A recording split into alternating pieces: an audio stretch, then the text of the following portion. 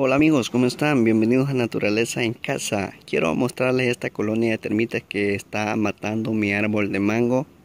Me he subido para poder eliminarla. Ya comencé a aplicar un insecticida que es muy efectivo para este tipo de insectos. Para hormigas, son popos, para insectos chupadores que hay en nuestras plantas. Pues por acá ya están muriendo muchas termitas también les conocen como polilla, como comején, no sé en su país cómo usted le conoce. Pero es una plaga que no podemos permitir que se siga reproduciendo porque puede llegar a habitar dentro de nuestra casa si no nos fijamos y comenzar a hacer eh, sus colonias en algunos muebles que tengamos de madera, porque a esta le encanta la madera, así que tengamos mucho cuidado, mucha precaución. La verdad que yo creía que eran solo hormigas las que estaban eh, en estos como tipos nidos. Y pues no cuando vine a ver me di cuenta que era termita. Por acá está toda la madera que se están comiendo la pudre con facilidad.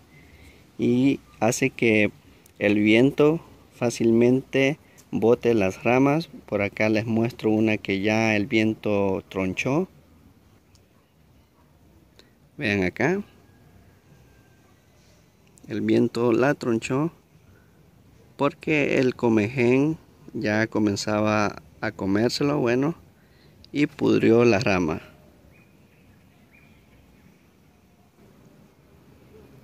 Por acá estaba esta rama y aquí pues estaba la colonia de termitas. Ya comenzamos ya le aplicamos el insecticida y pues muchas ya murieron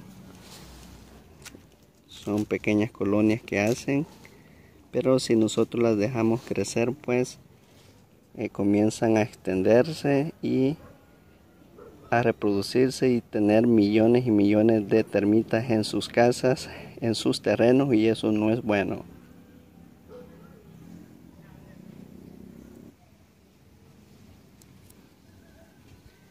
Hay mucho material muerto y es ahí donde comienzan a hacer sus nidos les encanta de verdad la madera.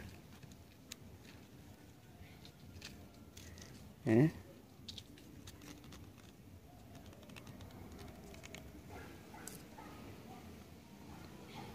la verdad que este árbol tenía pero muchos nidos de termita.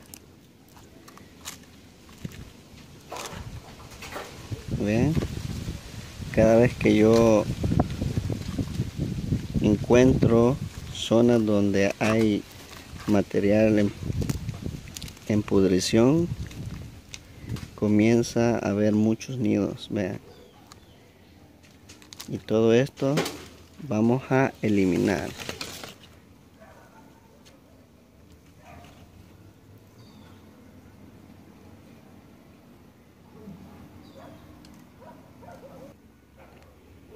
Así que mis amigos y amigas, mucho cuidado con las termitas, no permitamos que éstas se reproduzcan, cuidemos nuestros muebles, la madera que hay en nuestra casa, para que no, no hagan colonias ahí también.